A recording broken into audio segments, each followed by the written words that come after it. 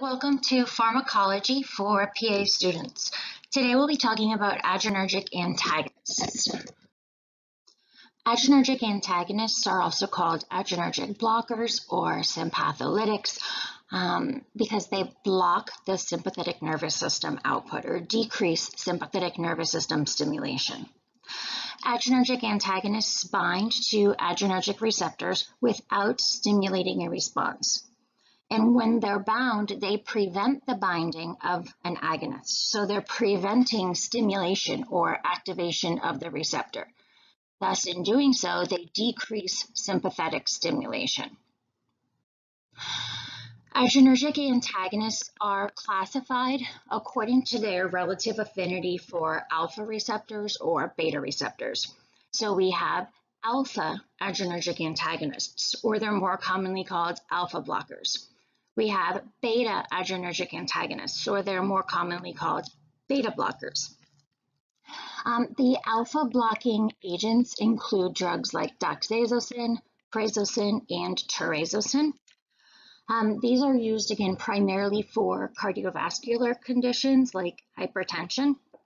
The list that you see right down here, um, alfuzosin, silodosin, and tamsulosin, which is a commonly one used, um, these are used for BPH, not for cardiovascular conditions.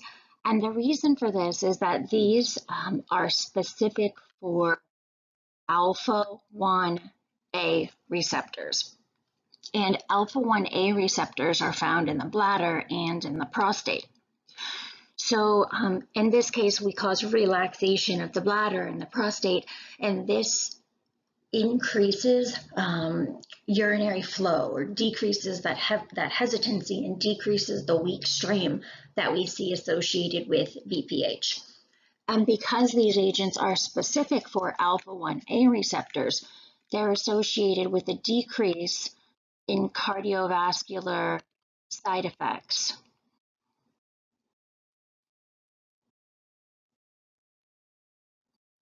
That we would see with non-selective agents. Alpha-1 blockade in particular causes vasodilation and so it's associated with a decrease in vascular tone or a decrease in peripheral resistance. And associated with that then is a decrease in blood pressure. So they're used for hypertension. Um, because of this decrease in blood pressure, they can be associated with a reflex tachycardia. That's the body's natural response to a, a um, decrease in blood pressure is to increase the heart rate in order to keep up with cardiac output. But we'll talk about that more later.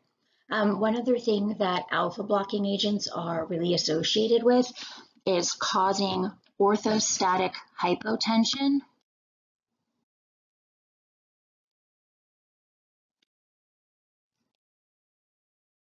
um, or it's also called postural hypotension.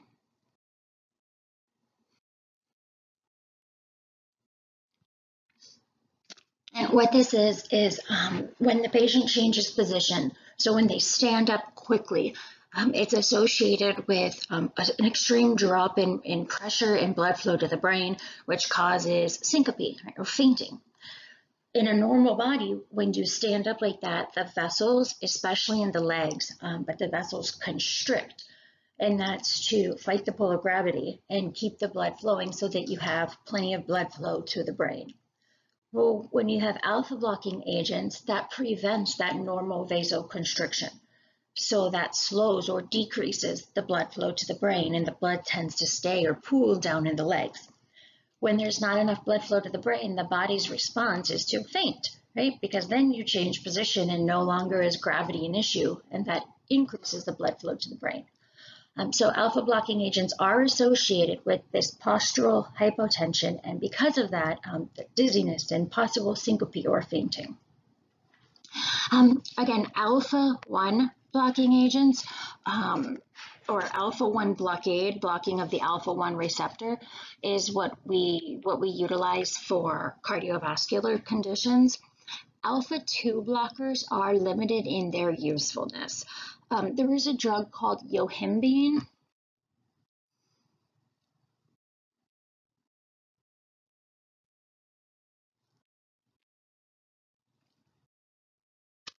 Um, yohimbine is an alpha 2 blocker. It works in the central nervous system to decrease, um, or sorry, it works in the central nervous system. Um, and it was used as a sexual stimulant. It actually increases sympathetic outflow. So it works in the CNS to increase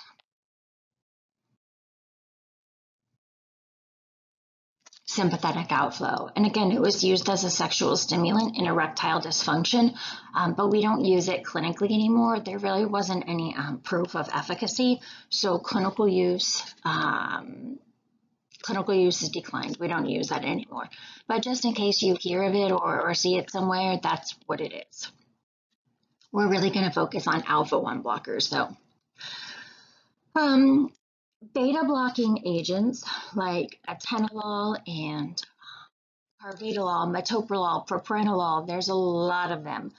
They are utilized also for cardiovascular conditions and um, a large one of those is hypertension. So we do utilize them to decrease blood pressure, but blocking beta receptors does not affect vascular tone. Um, blocking beta receptors, specifically on the heart, decreases heart rate and decreases contractility, and that's how we decrease blood pressure with beta blocking agents. Because we're not binding to alpha receptors and not decreasing vascular tone, um, these do not cause postural hypotension or orthostatic hypotension, like we saw with the alpha blockers. Beta blocking agents can be classified as selective beta blockers and non-selective beta blockers. Selective agents block only beta 1 receptors, which are found on the heart. Non-selective agents block both beta 1 and beta 2 receptors. Remember that beta 2 receptors are found in the lungs. Um, beta 2 receptors are the receptors that are stimulated for bronchodilation. So blocking these um, beta 2 receptors can lead to bronchoconstriction, which obviously is going to be a major issue in people who have pulmonary conditions like asthma or COPD. Um, so we'll talk more about the importance of you know, selective versus non-selective in a little bit. Beta blocking agents have numerous cardiovascular uses like hypertension or heart failure. Um, they're also utilized in glaucoma to decrease intraocular pressure uh, there are other uses as well, like migraine prevention, um, which we'll talk about. We'll get into all of the specifics in a minute. Most of the alpha blockers that we use clinically are selective alpha blockers. They're selective for alpha 1 receptors. Um, these two drugs that you see here, however, are non-selective alpha blockers, um, and they've got very specific uses. Phenoxybenzamine um, is again a non-selective alpha blocker, so it blocks alpha-1 and alpha-2 receptors. And it's used to treat hypertension in very specific situations. Um, it's used to treat hypertension that's associated with pheochromocytoma. Um, pheochromocytoma is a tumor of the adrenal gland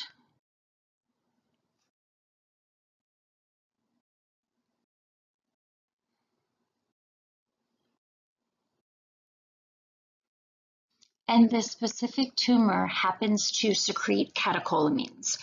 Um, so increased release of norepinephrine, epinephrine from the adrenal, um, the adrenal gland. Remember that the adrenal medulla has sympathetic innervation and the adrenal medulla makes epinephrine and norepinephrine and releases them into the bloodstream. Um, pheochromocytoma is when there is a catechol catecholamine secreting tumor present in the adrenal gland. So it's associated with a large increase in circulating catecholamines.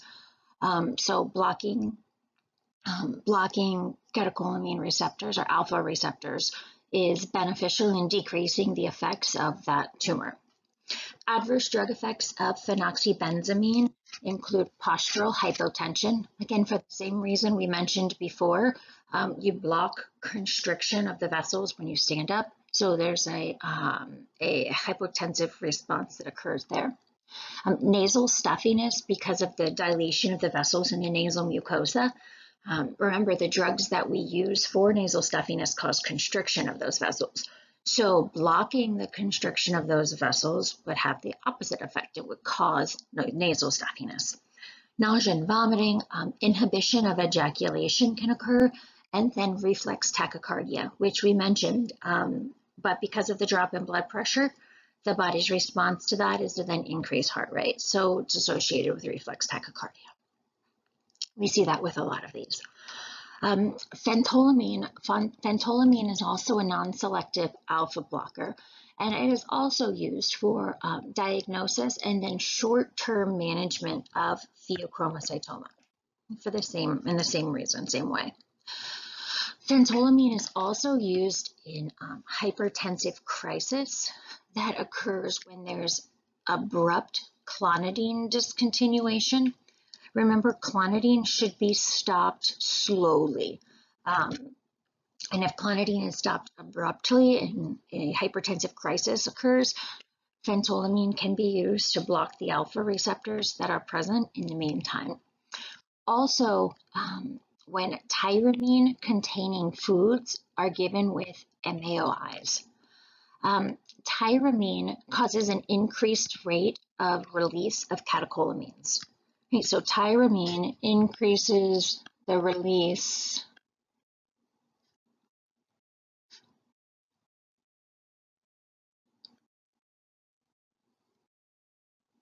of catecholamines. And normally it's okay in most people. Um, tyramine is metabolized by monoamine oxidase. And normally, um, in most people, the monoamine oxidase metabolizes the tyramine. It doesn't build up and fine. However, people who are taking MAOIs or monoamine oxidase inhibitors have that are, are unable to metabolize that tyramine, and the tyramine builds up. Um, in that case, there's a large release of catecholamines, and that can um, result in hypertensive crisis. So phentolamine is another, or phentolamine can also be used in that situation. Prazosin, terazosin, and doxazosin are selective alpha blockers. They block um, primarily alpha-1 receptors. Uh, doxazosin is the longest acting of these. Um, and these alpha-1 blockers are used for hypertension, but they're used in combination with other drugs. They're not used as monotherapy. There just happen to be other drugs that are superior and have better outcomes, um, so these should not be used alone. Typically, they get added on to improve the response once another drug's been maximized. The other drug, if you've maximized dose, you're getting the best response out of that drug that you could possibly get. Um, you can't increase the dose, but you still need to lower the blood pressure at that point, you would add on um, an alpha-1 blocker.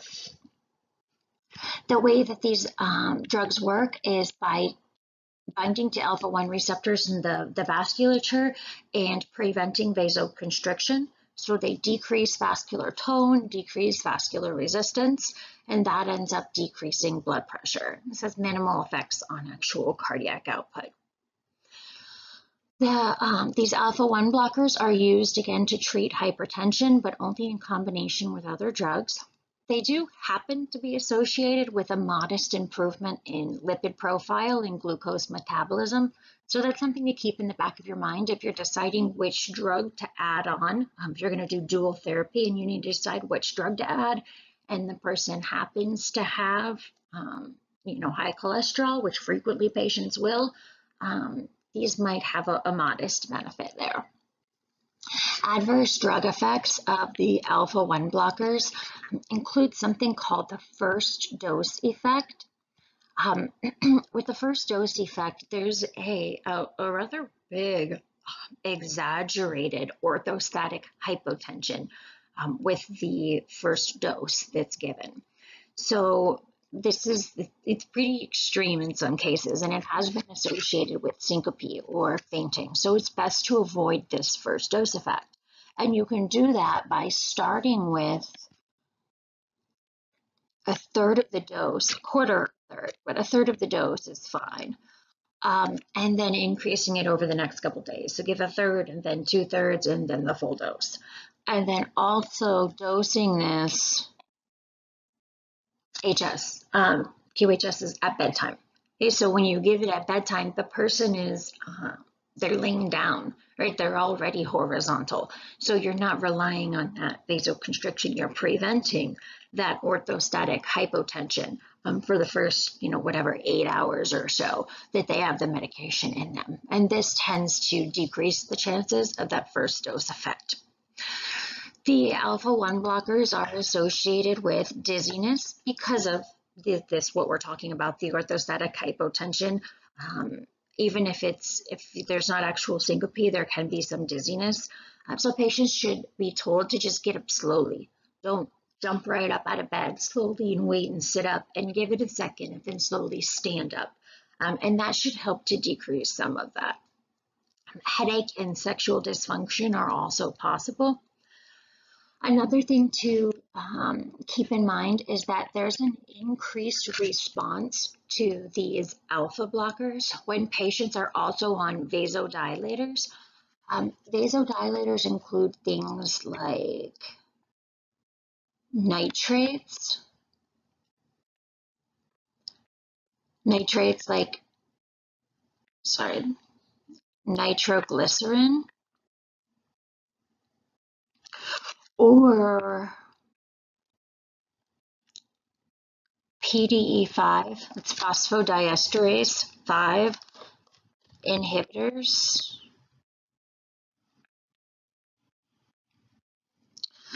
Like sildenafil. Um, sildenafil is Viagra.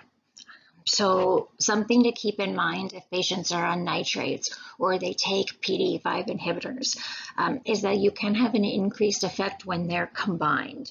So the drug should be titrated really slowly. Dose should be really slowly increased until you get to that effective dose, and the patient should be given the lowest dose possible. Um, also, counseling patients is important because with both of these drugs, nitroglycerin and the PDE5 inhibitors, the person's not necessarily taking them regularly every single day. So they need to be aware that if they do take these or they plan to take these, that they're going to have a greater response to their alpha blocker. So they need to be cautioned about that. Now we'll change gears and talk about beta blockers or beta blocking agents. Um, beta blockers competitively antagonize beta receptors. So they bind to beta receptors and they prevent agonist binding. So they prevent activation of that beta receptor. Beta blockers can be non-selective or selective. Um, non-selective agents bind and antagonize both beta 1 and beta 2 receptors. Selective agents um, bind and antagonize only beta 1 receptors. Um, because the beta 1 receptors are the receptors that are found on the heart, we often refer to these as cardio selective. They're selecting the beta receptors that are in the heart. Uses of beta blocking agents um, include lots of cardiac uses, so hypertension, angina, arrhythmias, um, post-MI or myocardial infarction, heart failure, we use them in hyperthyroidism to decrease that sympathetic stimulation that occurs in hyperthyroidism. Um, they're used to decrease intraocular pressure in glaucoma and also for migraine prevention. When we're talking about um, blood pressure, you'll see that beta blockers have the ability to decrease blood pressure without causing postural hypotension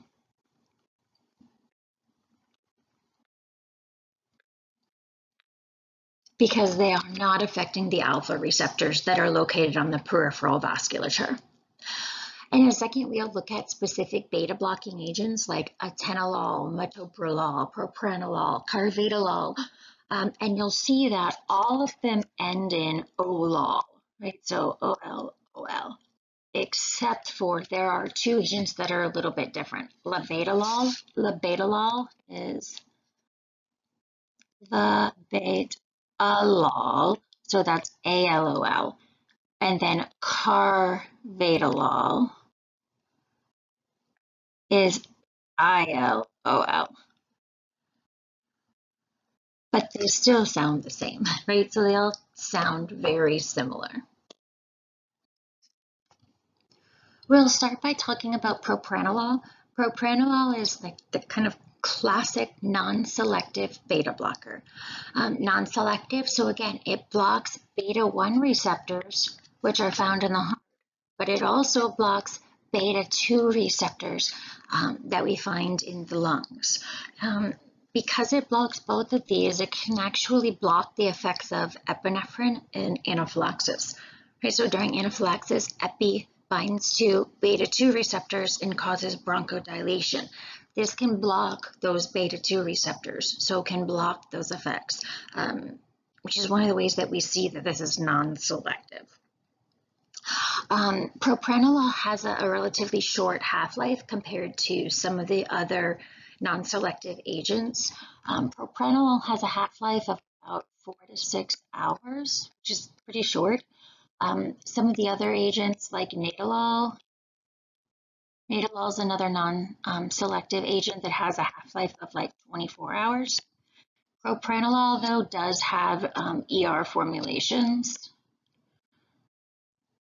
So if there are extended release formulations available um, to decrease the number of doses that have to be taken in a day and then increase compliance. Um, propranolol and other non-selective agents um, can be used for hypertension. This makes sense if you think about blocking beta-1 receptors in the heart.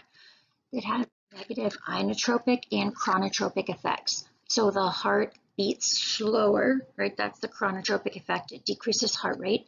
And then inotropic means that it decreases contractility. So by decreasing both of these, ultimately it decreases cardiac output and decreasing cardiac output can decrease blood pressure. Um, this is the primary way that the non-selective beta blockers work. They do also decrease renin release and sympathetic outflow, so that would in turn also decrease blood pressure. Initially, propranolol is associated with um, reflex vasoconstriction. That initial decrease in cardiac output, the body reacts by causing vasoconstriction, but that does dissipate in time. The body, the receptors get downregulated and that goes away. And ultimately, both um, systolic and diastolic pressure are decreased. Now, because this has negative chronotropic effects, because it's decreasing the heart rate, it can be associated with bradycardia. And bradycardia is actually the thing that typically limits the dose of propranolol. Um, Non-selective agents like propranolol can also be used for chronic stable angina. Um, Chronic stable angina is chest pain, uh, and the chest pain occurs because the heart gets ischemic. Right? The heart is working really hard, and there's not enough blood flow going to it to, to fuel it, and so it's ischemic, and that's painful, causes angina, chest pain. The way that propranolol works with chronic stable angina is when it's decreasing the, um, the workload of the heart, the heart beats slower, and it contracts less, right? Less forcefully. So the heart's working less. So it has decreased oxygen consumption. Um, so this is good for an ischemic heart. In an ischemic heart, when you decrease oxygen consumption, you relieve that ischemia. So it will decrease chest pain on exertion that we see with angina. Because propranolol um, blocks those beta receptors, the beta 1 receptors on the heart, it directly de depresses SA node and AV node conduction. so it slows conduction of the action potential in the sinoatrial node and in the atrioventricular node. Um, because of that, it can be used for supraventricular arrhythmias, arrhythmias that, that are generated above the ventricle. it is not effective in ventricular arrhythmias.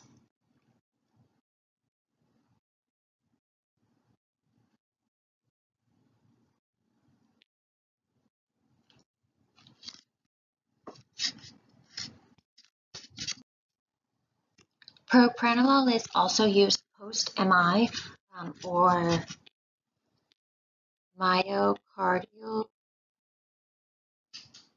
infarction.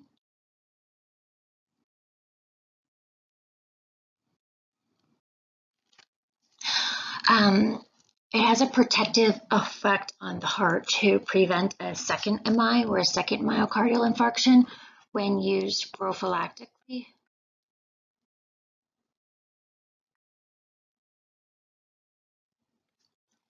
Post first MI. So when used prophylactically post first MI.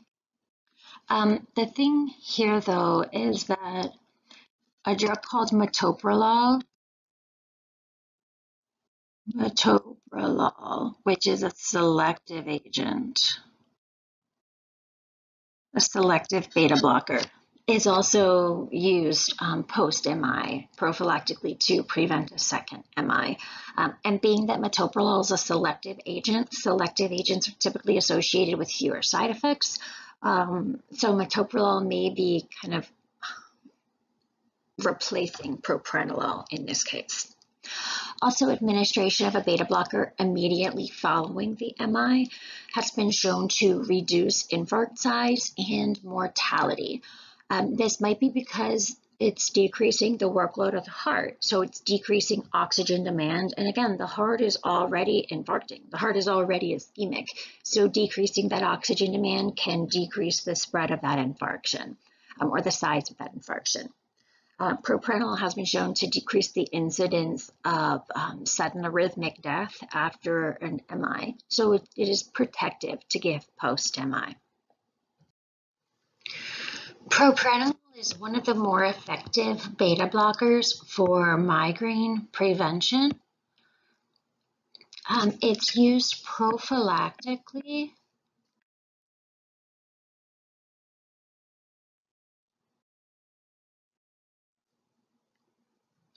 to prevent migraines. Um, so when taken on a daily basis, it reduces the number of migraine episodes.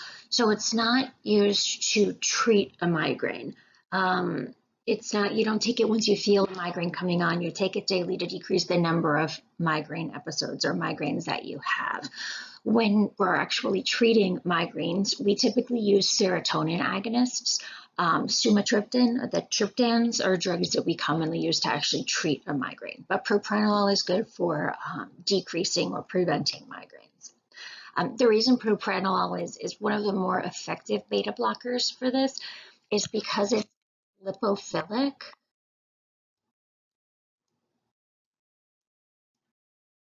And its lipophilicity allows it to have good CNS penetration.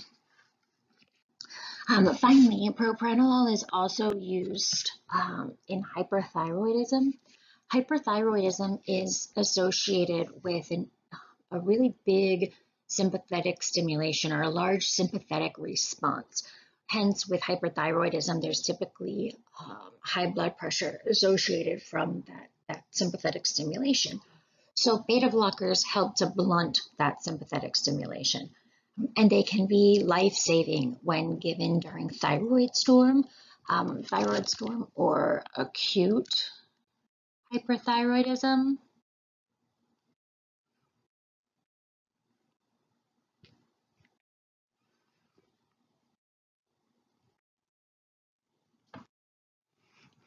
And the reason for this is that they protect against arrhythmias. Beta blockers are associated with um, quite a few side effects. And this is something important to counsel patients about so that they're aware of them. Um, and then they're less likely to be non-compliant if they at least know what to expect and know how to try to avoid them or minimize them. Um, propranolol, because it's a non-selective beta blocker, is associated with even more side effects than the selective agents. Um, bronchoconstriction is a really important one.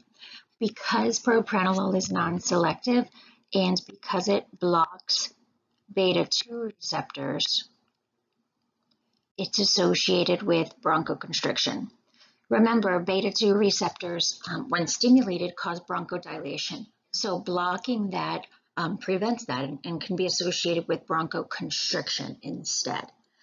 Beta um, Non-selective beta blockers like propranolol have been associated with death by asphyxiation um, in asthmatic patients who were inadvertently given the drug. So this is highly important um, to make sure that you're not giving propranolol to patients who also have asthma or COPD we have other agents that can be used. Selective agents um, can typically be used safely. So there's no reason to give a non-selective beta blocker to somebody who has asthma or COPD. Um, propranolol has been associated with arrhythmias, um, and not just arrhythmias, it can be hypertension, so worsening hypertension or worsening angina, and then more severely arrhythmias upon abrupt withdrawal. So um, propranolol and other agents should never be withdrawn abruptly. They need to be tapered down slowly over at least a few weeks. Uh, the reason for this is that while the beta blocker is being taken, the cell's response is an upregulation of receptors. So then once the beta blocker is taken away, there's all these beta receptors present and um, a huge sympathetic response occurs. So it's important to slowly take away that beta blocker so that the receptors can slowly um, acclimate to that. Propranolol has also been associated with sexual dysfunction in men um, and don't really know why this is. Um, ejaculation is mediated by alpha receptors, not beta receptors, but sexual dysfunction has been reported um, enough for us to warn about it so that you can be aware of it. Um, beta blockers or propranolol um, is associated with fasting hypoglycemia and then also a diminished response to that hypoglycemia. So most of the signs that will kind of tell you, man, my, my sugar's low, go away. You don't actually see those. So you lose some of the warning signs of hypoglycemia. Uh, the reason for this is that it decreases glucagon release, which when sugar is low, glucagon is the hormone that's released in order to increase sugar. So you um, decrease glucagon and decreased glycogenolysis. Glycogen, this is, glycogen is how we store sugar, right? So tons of sugar molecules linked together, um, tons of glucose molecules linked together. And glycogenolysis is when we go lyse that glycogen, we go break off the sugar. So both of these things are responses to low blood sugar, to hypoglycemia. This is how the body responds to fix the situation. Um, propranolol can be associated with the inability to respond to that, and this can be dangerous, especially in patients who are taking insulin. Um, so it's something to caution patients who are receiving, or use caution in patients who are receiving insulin. Also, the response to hypoglycemia is mediated by catecholamines. Um, so this is blocked by beta blockers. Typically, when we have hypoglycemia, the patient will kind of be aware of that because of the tremors, tachycardia, nervousness occurs. All of that is blocked. The one thing that is not blocked, the one um, kind of sign of hypoglycemia that's not blocked is diaphoresis. So diaphoresis, sweating,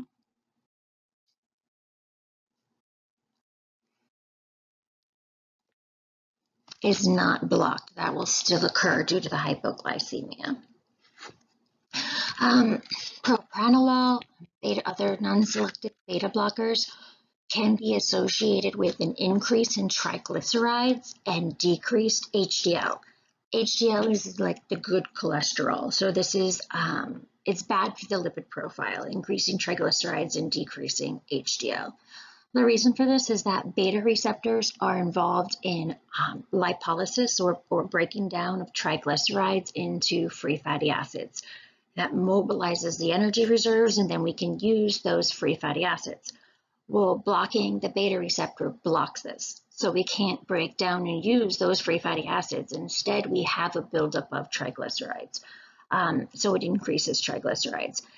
Selective beta blockers may have less of this effect. So in a patient who um, has hypercholesterolemia or some sort of um, atherosclerosis or some problem with lipid profile, um, giving a selective agent like metoprolol, for example. Selective agents less of the um, problem with the lipid profile. Finally, um, beta blockers can be associated with central nervous system disturbances. Um, this can be things like depression or lethargy. Lethargy and fatigue are very common with beta blockers, especially in the beginning of um, use when we first start them. Um, other CNS stuff like vivid dreams can occur. This is less with hydrophilic agents. So less CNS side effects with hydrophilic.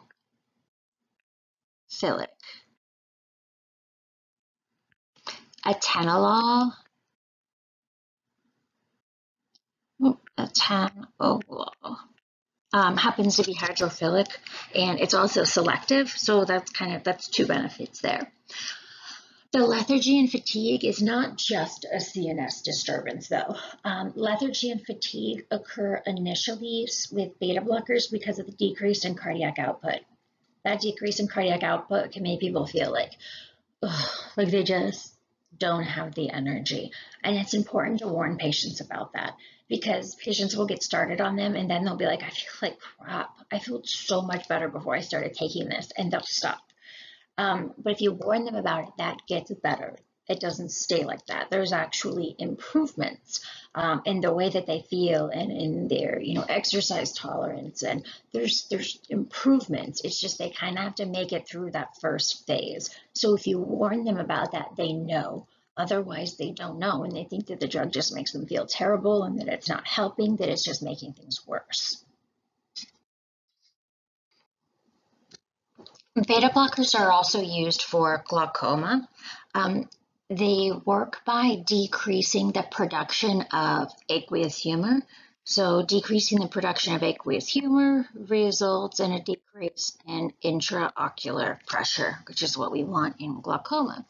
Um, and the beautiful thing is they do not affect the ability to focus for near vision. They do not affect the ability to change pupil size in differing lights uh, like the cholinergic drugs do.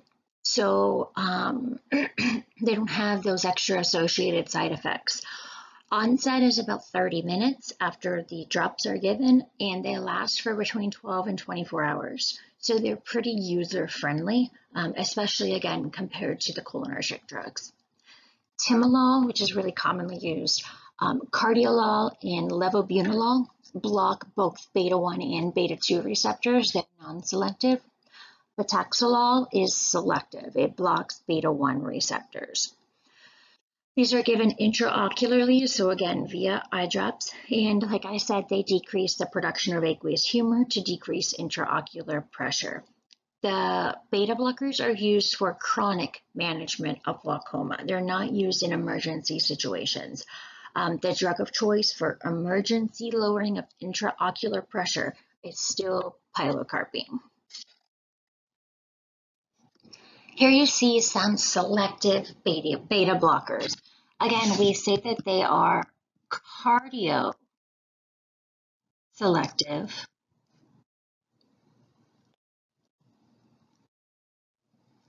because they're selective for beta 1 receptors that are located on the heart.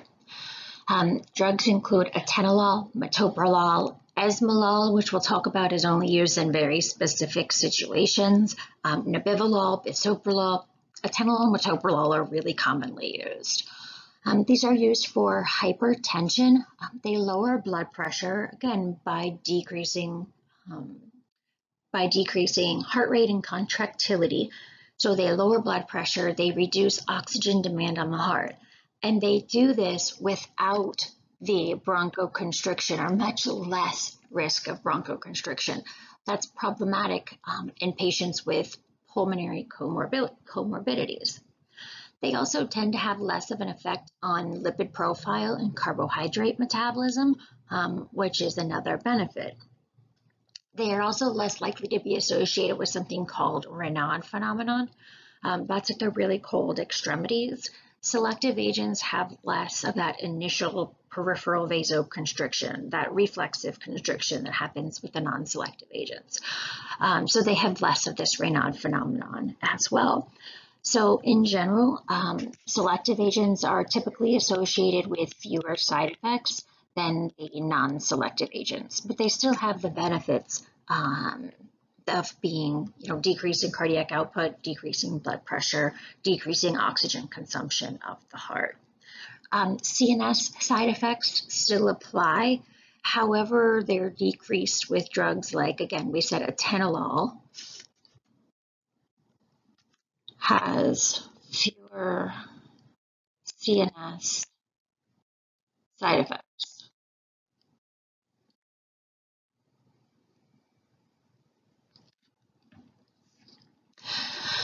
So selective beta blockers are used for hypertension. Um, they're also first line therapy for chronic stable angina. We talked about that on the last slide um, or a couple slides ago, but it's because they decrease the workload and oxygen consumption of the heart. Um, bisoprolol and extended release metoprolol are approved for chronic heart failure. Um, we don't use beta blockers in acute heart failure um, only in chronic heart failure. Esmolol has a really short half-life. Esmolol has a half-life of like 10 minutes. So um, we give it IV and it's utilized to control hypertension or rhythm in critically ill or surgical patients. Um, it slows AV conduction, um, just like we saw, show, oh, goodness, excuse me, just like we saw with propranolol. Um, and both of them are used for supraventricular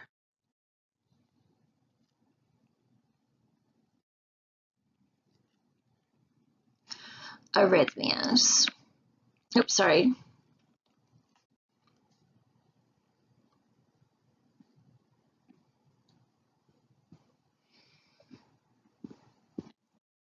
Or um, tachycardia, for example supraventricular tachycardia as well,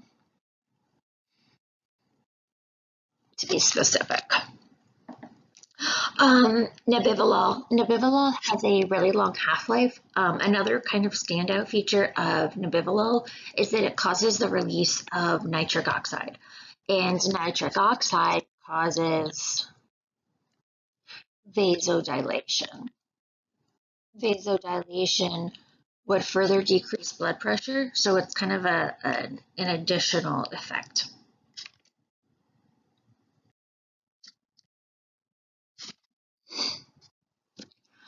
Labetalol and carvedilol um, are odd. They are mixed antagonists.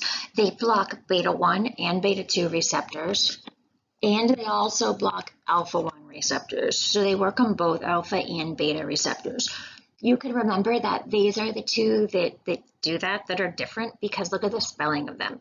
Remember I said most of the um, most of the beta blockers end in OLOL, O-L-O-L. These are the weird ones. So labetalol is A-L-O-L, carvedilol is I-L-O-L. These are the ones that don't just block beta, they also block alpha. They're used for hypertension and heart failure. Um, labetalol is used in pregnancy-induced hypertension. We'll talk about this later, but methyl dopa is another drug that's also used in pregnancy-induced hypertension. Um, labetalol is also given IV in hypertensive emergencies.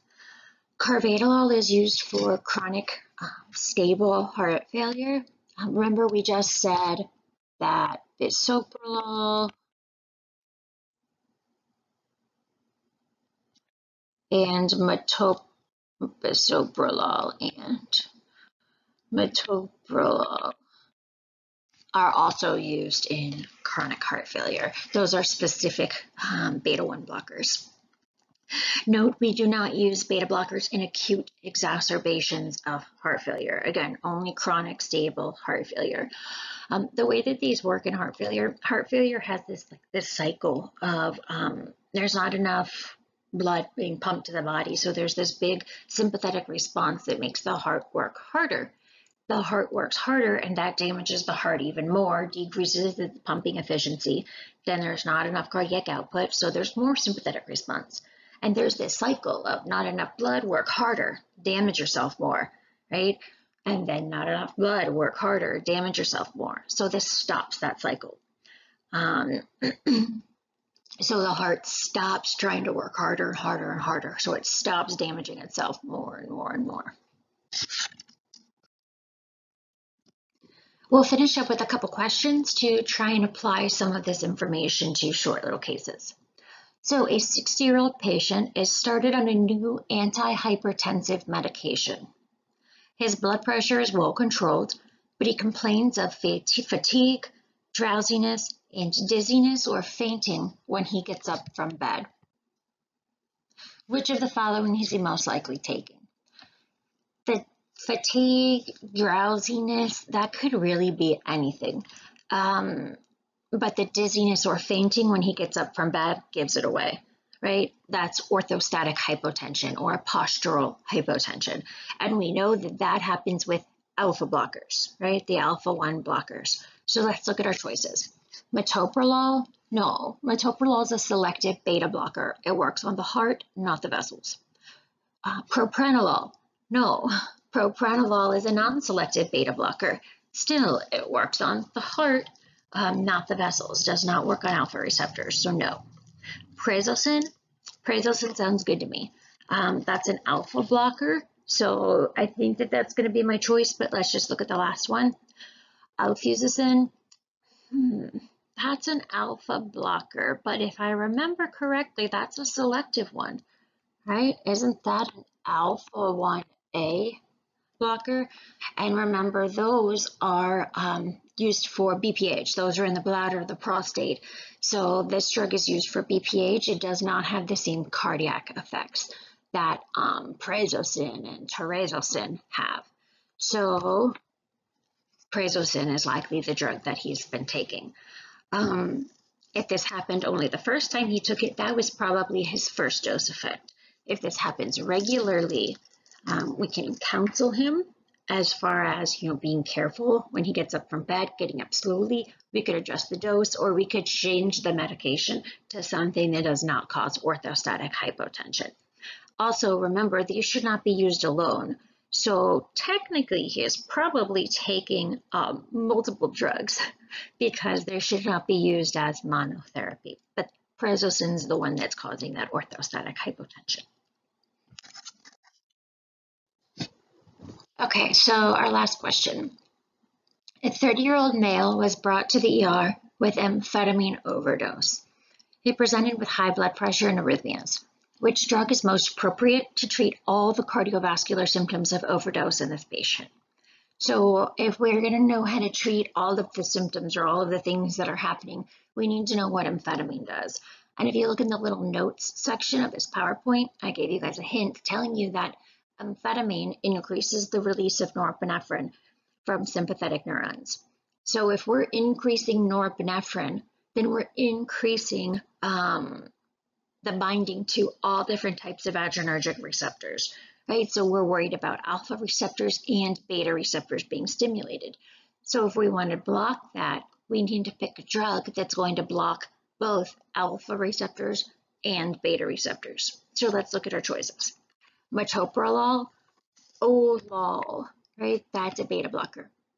prazosin, we just saw prazosin, oh, metoprolol is beta. Prazosin is an alpha blocker. Labetalol, this is one of the weird ones, right? Labetalol is not OLOL, it has the A there, right? Labetalol and carvedilol, those are the strange ones that block both beta and alpha receptors. So that one looks good. Let's keep looking. Um, nebivolol, nope, that's OLOL. That must be a beta blocker. So the drug that would block all of the cardiovascular effects of amphetamine would be labetalol. That would be a good choice to give um, the patient who's overdosing from amphetamine. All right, guys, that is it for adrenergic blockers. Um, next reset or next lecture, next receptor. Next lecture, we will start to go into um, drugs that affect other types of receptors, um, specifically to treat neurological conditions, degenerative neurological conditions. Thank you.